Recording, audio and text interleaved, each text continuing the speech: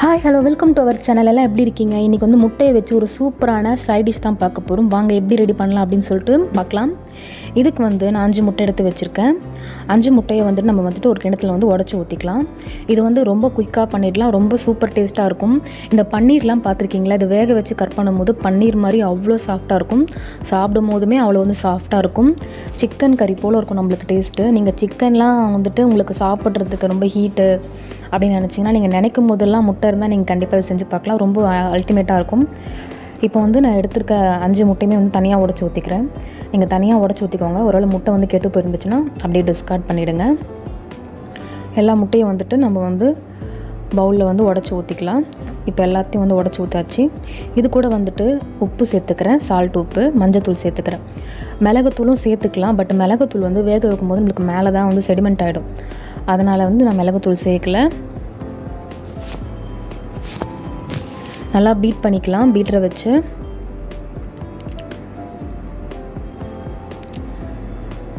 நல்லா பீட் பண்ணிவிட்டு ஒரு டிஃபன் பாக்ஸ் எடுத்துக்கோங்க. அதில் வந்துட்டு ஆயில் அப்ளை பண்ணிக்கலாம் இது வந்து முட்டை வந்து நம்மளுக்கு ஒட்டாமல் வரத்துக்காக ஒரு டிஃபன் பாக்ஸில் வந்து ஆயில் அப்ளை பண்ணிக்கலாம். நல்லா அப்ளை பண்ணிவிட்டு கையிலேயே நல்லா க்ரீஸ் பண்ணி விட்டுருங்க. ஃபுல்லாக அப்ளை பண்ணிவிடுங்க அப்ளை பண்ணிவிட்டு நம்ம நல்லா பீட் பண்ணி வச்சுருக்க முட்டை இருக்குது பார்த்தீங்களா அதை வந்து டிஃபன் பாக்ஸில் சேர்த்துக்கலாம்.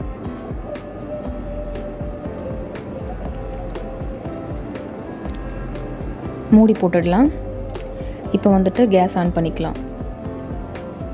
கேஸ் ஆன் பண்ணிவிட்டு நான் வந்து இட்லி பாத்திரத்தில் தான் வேக வைக்கிறேன். நீங்கள் வந்துட்டு இதில் வேணால் வேக வைக்கலாம். கடாயி மைக்ரோவன் இருந்தால் பத்து நிமிஷம் வேக வச்சாலே போதும். இப்போ இட்லி பாத்திரத்தில் செய்கிறதுனால எல்லாருமே செய்யலாம். தட்டை வந்து இப்படி போடாமல் திருப்பி போட்டுக்கோங்க. அப்போ தான் வந்து நல்லா ஸ்டாண்டு போல் இருக்கும் நம்மளுக்கு.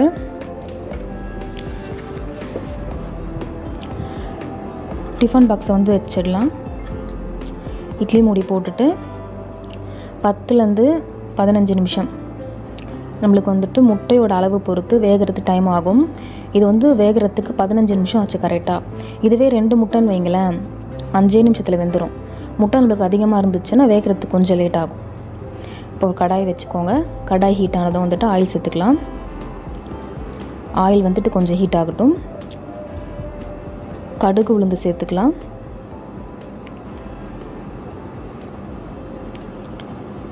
கடுகு உளுந்து பொறிஞ்சி வந்துடுச்சு.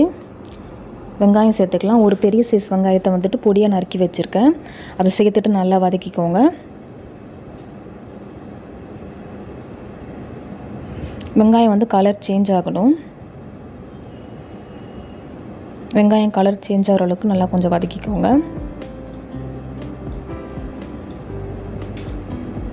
வெங்காயம் வந்துட்டு நம்மளுக்கு சூப்பராக வந்து வதங்கிட்டு இருக்கு. இப்போ வந்துட்டு நம்ம முட்டை வெந்துடுச்சு.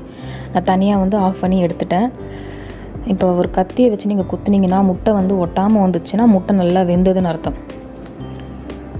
இப்போ வந்துட்டு ஒரு தக்காளி பழம் நறுக்கி வச்சுருக்கேன். ஒரு பெரிய சைஸ் தக்காளி பழம். அதை வந்து சேர்த்துக்கலாம். தக்காளி வந்து பழமாக போட்டுக்கோங்க. அப்போ தான் சீக்கிரம் வந்து வதங்கிடும். டேஸ்ட்டும் நல்லாயிருக்கும். சேர்த்துட்டு நல்லா வதங்கணும். தக்காளி வந்துட்டு நல்லா வதங்கணும். தக்காளி நல்லா வதங்கியாச்சு. இப்போ வந்துட்டு இஞ்சி பூண்டு பேஸ்ட் வந்து தட்டி வச்சுருக்கேன். அதை சேர்த்துக்கலாம் நம்ம.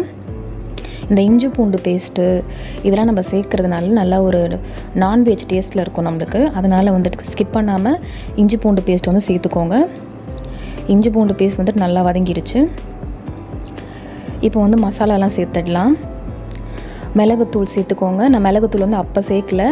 இப்போ சேர்க்குறதுனால ஃபுல்லாக வந்துட்டு நம்மளுக்கு எல்லா இடத்துலையும் பரவி டேஸ்ட் நல்லா சூப்பராக இருக்கும். அப்புறம் கொஞ்சமாக கரம் மசாலா தூள் சேர்த்துக்கிறேன். கொஞ்சம் வந்துட்டு மிளகு மிளகாய்த்தூள் தனி மிளகாய்த்தூள் தான் இது.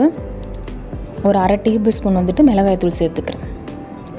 சேர்த்துட்டு நல்லா ஒரு தேர்ட்டி செகண்ட்ஸ்க்கு நல்லா மிக்ஸ் பண்ணி விடுங்க இது மாதிரி மிக்ஸ் பண்ணி விடும்போது தனியாக வந்து எண்ணெய் பிரிஞ்சு வரும். இப்போ இந்த டைமில் வந்துட்டு கொஞ்சமாக தண்ணி சேர்த்துக்கோங்க. நிறைய வேணாம். ஏன்னா வந்துட்டு நம்ம நல்லா ஒரு கிரேவி போலலாம் இல்லை. நல்லா ஒரு ரோஸ்ட்டு போல் தான் பண்ணி எடுக்க போகிறோம் அதனால் கொஞ்சமாக தண்ணி சேர்த்துக்கணும் அதுவே போதுமானது. முட்டை பார்த்திங்கன்னா எவ்வளோ சூப்பராக சாஃப்டாக வெந்திருக்கு. அது பாருங்கள் எவ்வளோ ஒரு சாஃப்டாக இருக்குது அப்படின்னு சொல்லிட்டு பார்க்குறதுக்கு ரொம்ப அழகாக இருக்குது பன்னீர்லாம் கடையில் வாங்குவோம் பார்த்தீங்களா அதே போல் தான் இருக்குது சாப்பிடும் போதுமே அவ்வளோ சூப்பராக சாஃப்டாக இருக்கும். இப்போ வந்துட்டு நம்மளுக்கு அந்த கிரேவி வந்து ரெடி ஆகி வந்துட்டுருக்கு. இப்போ இந்த டைமில் வந்துட்டு நம்ம வந்து வெட்டி வச்சுருக்க முட்டை துண்டுகளை வந்து சேர்த்துக்கலாம். சேர்த்துட்டு நல்லா மிக்ஸ் பண்ணி விடுங்க. ஒரு ரெண்டு நிமிஷத்துக்கு வந்து நல்லா மிக்ஸ் பண்ணி விடுங்க. நம்ம சேர்த்துருக்க மசாலாலாம் வந்து முட்டையில் நல்லா ஒட்டணும். நான் மிளகு துளியாக இப்போ சேர்த்தேன்னு சொல்லிட்டு உங்களுக்கு தெரியும். நம்ம வந்துட்டு அப்போ சேர்க்கும் போது கூட மேலே செடிமெண்ட் ஆகிடும் இப்போ நம்ம சேர்க்குறதுனால நல்லா ஃபுல்லாக வந்துட்டு எல்லா இடத்துலையும் நம்மளுக்கு வந்து பரவி சூப்பராக இருக்கும். இப்போ வந்து வெட்டி வச்சுருக்க கொத்தமல்லி இலை கருவேப்பிலை அதை சேர்த்துக்கோங்க. ஃபைனலாக வந்து கொத்தமல்லி இலை சேர்க்கும் போது அதோட வாசனை வந்து ரொம்பவே சூப்பராக இருக்கும். அதனால் ஃபைனலாக கொஞ்சமாக கொத்தமல்லி கருவேப்பிலை சேர்த்துக்கோங்க. சேர்த்துட்டு நல்லா மிக்ஸ் பண்ணி விடுங்க நல்லா சுருளை சுருளை வதக்கி எடுக்கணும்.